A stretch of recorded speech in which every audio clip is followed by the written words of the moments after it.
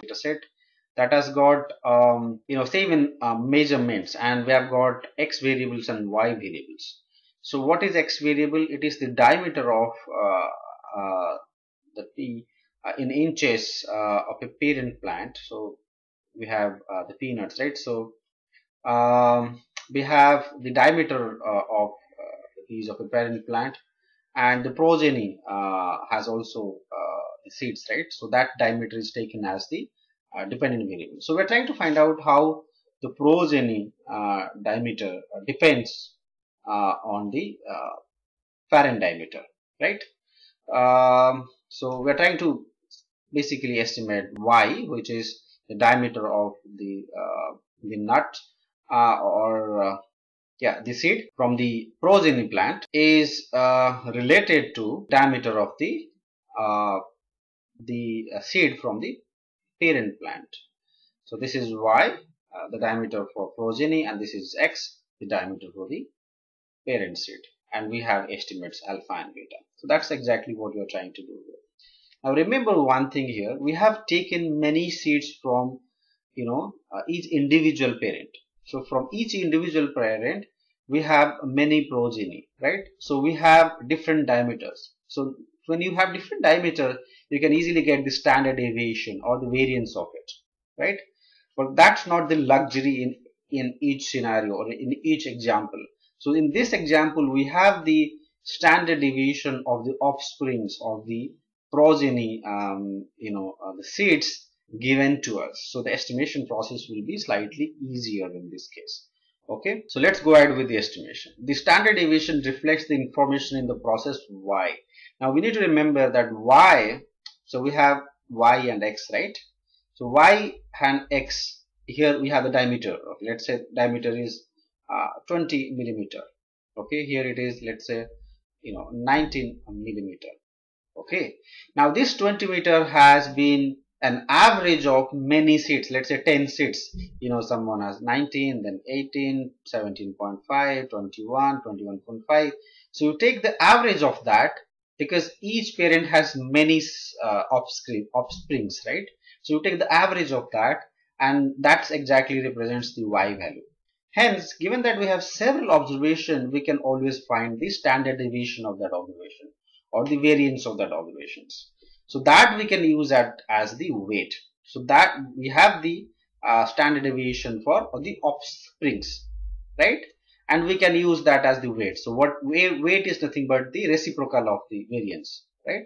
So we can easily find the weight and then we can use that in the ordinary least square. We have the formula. We saw that three slides back. So we can use that formula um, which is nothing but x transpose, you know, weighted uh, weight matrix multiplied to x, you know, whole inverse and then you multiply it with another set of this expression and find out the beta values. And that's uh, all. It's easy right? But not always you will have this set of you know uh, observation given to you. So experimentally this is possible but many times you to, don't have that experimental data where you have several observations so that you can uh, go ahead with uh, calculating the uh, standard deviation and variance. So the idea is to give uh, downweight the observation with large standard deviation. So we have the standard deviation for each observation for y value and upweight the observation which has got small standard deviations, right? So, you know, logically that's what we need to do in uh, weight, uh, least square. That's what we also learned in the previous slide that based on the standard deviation our weight will differ and that is, uh, you know, inversely proportional. That means the more variance you have, the less weight it gets in the uh, estimation process. So when you use Minitab and we have this uh, regression equation, you can use any software, R, SAS, SPSS. Uh, so this is uh, this is the OLS, this is the WLS uh, regression output, and this is the ordinary least square output. So we have used the same data and used different estimation process. So this is OLS and the, uh, the one above is uh, the weighted least uh, you can see that the difference in the estimates, right? Both in the intercept and slope coefficient. There is a uh, you know significant difference in the uh, slope coefficient at least. So intercept is not very different, but the slope coefficient has a difference. Hence, when you explain the marginal effect, uh, there is there is uh, going to be some change, right? Some difference. So here uh, WLS is more appropriate because we have found out that variance uh, the of the error terms is not constant throughout. Hence, uh, ordinary square uh, has a, um, it's not appropriate because the uh, because of the violation of the uh, homoscedasticity assumption. When you do the plot by estimating, you find some difference. Okay, slight difference. You can see uh, the two lines here. They're more or less overlapping, but there is some difference. Most of the times, you will see that they will be very close. Okay, uh, there won't be much of a difference, but it does make a difference while you when you explain it so if you are doing a forecasting of something, that won't make much of a difference. But if you're trying to explain the marginal effect, then it does have uh, a significant difference. For this example, the weights are known. As I have said, the weights are known. But this is this circumstance will not be there always. So how do you find uh, you know the weights when the weights are not given explicitly? Well, you have i observations, um, which is an, uh, an average of n observations. So uh, sorry, uh, the ith response of uh, a data set is an average of n uh, observations. So variance will be uh, calculated very simply, right? Variance would be nothing but variance divided by ni, and the weight would be proportional to that. So 1 by ni proportionate will be ni itself. So that will be the weight. If it is the total of ni observation, if the ith response is a total, it's just a sum of ni observations, then its variance will be simply uh, you know the product of all the variances. Okay here it was average so we simply divided ni here it is the sum uh, so we just did the product of uh, all the variances. You know given the weight I mean product of uh, sorry the product of the uh, observation number of observations the, uh, the variance. And the weight it is exactly the reciprocal which is 1 by ni so this is what you need to you know um, remember while aggregating the observations right. So these are additional information. You can always read more about it. How you aggregate observation based on like in a, in our previous example we saw it is an average of different observations. So the aggregation is average but it will not be average all the time. It could be sum also. It could be um, you know some sort of different uh, uh, weighted average also. So how do you come up with weights when you have weighted average observations? Anyway we are not going to deeper uh, aspect of it we'll keep it simple and go ahead. So now we have one example where you have the weights already given. We'll go ahead with another example where weights are not explicitly uh, given to us. So when that is the case we need to follow a few steps.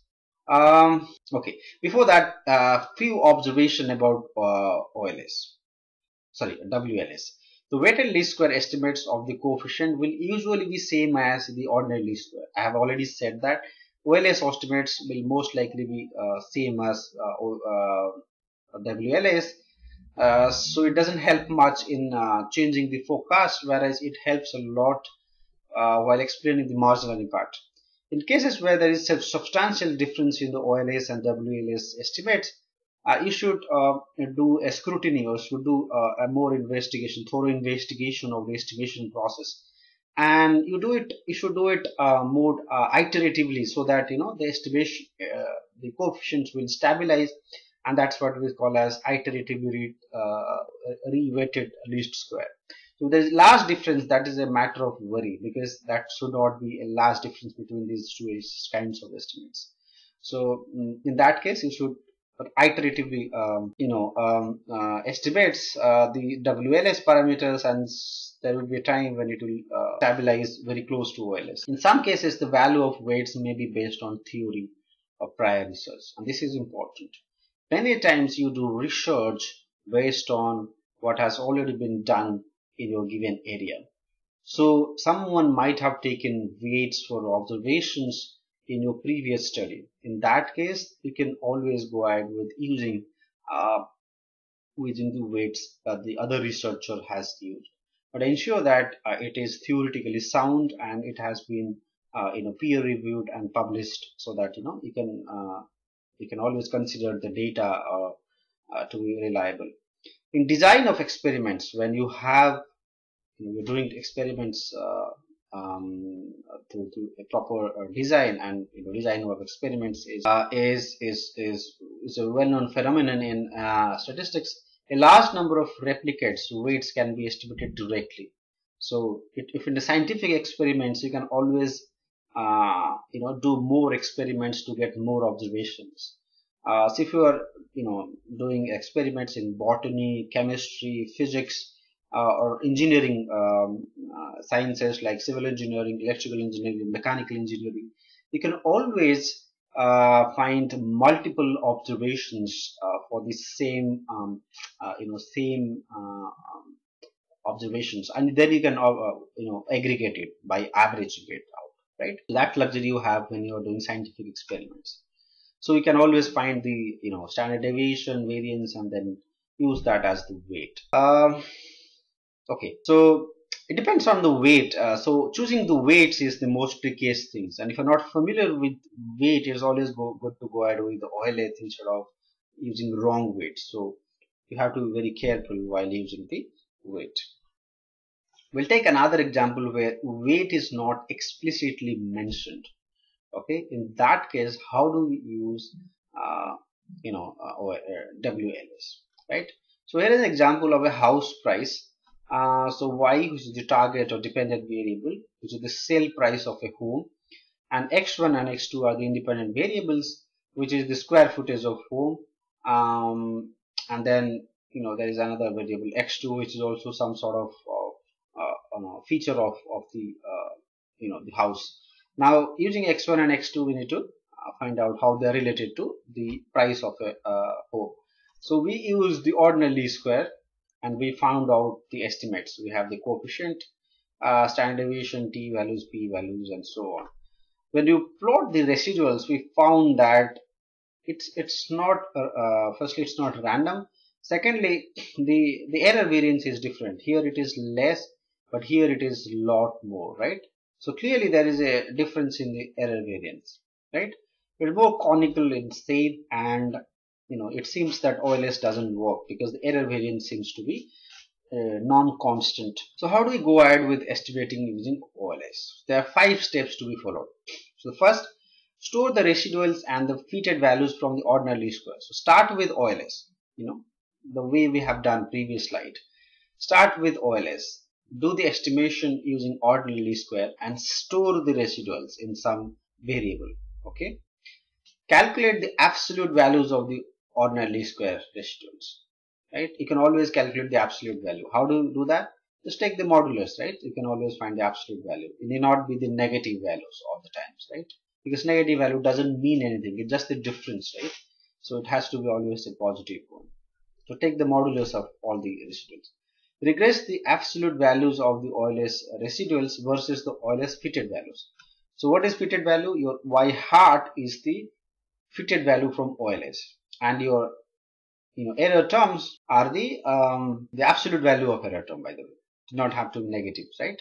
Now you have error terms and you have fitted values of your, your dependent variable. In the third step what do you do? You regress the absolute values of ordinary least square versus the OLS fitted values. So OLS fitted values is y hat and this is your um, error terms so you regress this as dependent variable and this as independent variable. Okay. You do the regression. Okay. This with this. Okay. The error terms, absolute value of the error terms with the fitted value from the ordinary square. Uh, you might wonder why are we doing this? Well, we are doing this because we got we want to we want to get more smoother values of uh, the error terms. Okay, that's the idea. Other than that, you know, there is no reason why we do it is get to get a smoother value. And this is what done in many other statistical techniques. So uh, if you from you can always ask your statistics teacher why we uh, regress uh, the fitted values many times. It is you know more or less to get a, smoother uh, uh, values. Okay. Um, so this is more like an interpolation uh, or extrapolation type if you're familiar with these concepts you, you would understand it very well okay calculate weights equal to 1 by fit square so whatever the fitted values are estimates of the errors um, now what you do is that um, once you regress you store the fitted values from this regression Now fitted values of regression will be again some sort of, okay, let's call that um, E dash, okay. And this is again estimate, so we'll use hat. So from this regression, we'll get this error terms. This will be more smoother compared to what we have used here. Calculate the weights equal to 1 by fit. So this we considered as the standard deviation for each observation.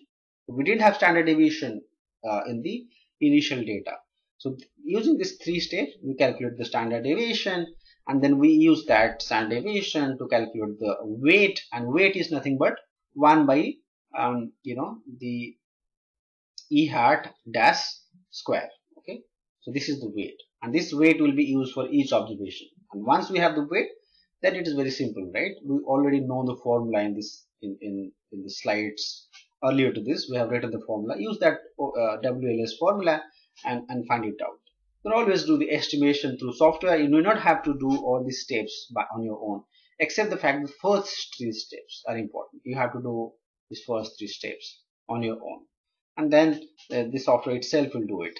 And nowadays it's all automated. Now you don't have to do it on your own. You can use a, a WLS, uh, you know, a, a procedure or function uh, in R or SPSS and that will do the, all the steps. So the reason I explain all five steps is for your understanding of theory so that you can always explain how well WLS is different from the uh, ordinary square. Now we have followed uh, the same steps that we uh, explained in the previous slide and we have a different set of uh, estimates this time from WLS okay? So this is different. You can compare it with the ordinary least square estimate. When you plot it you can see the uh, values are lot different. Now you have more or less constant uh, variance. There is some sort of non-constant at the end but then you know you can always try it out different weights to avoid that but most part it is a constant variance right? You can see it uh, yourself. And you can compare this graph with your previous OLS graph where you know the variance was non-constant in nature. Okay so this is how you um, estimate uh, find out or estimate uh, the OLS uh, sorry the WS uh, regression uh, problem.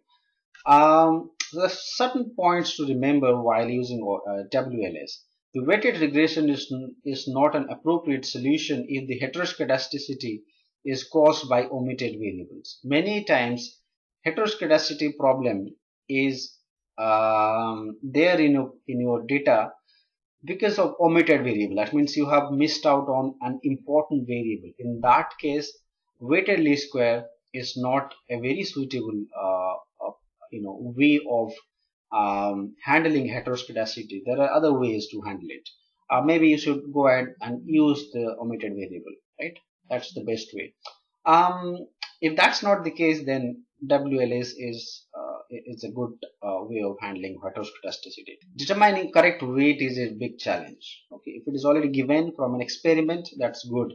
Otherwise, you have to follow the three steps I explained in the previous slides. The value-based uh, theory. I mean, I mean, when you are uh, using um, um, literature, you are referring to some literature in your area of research.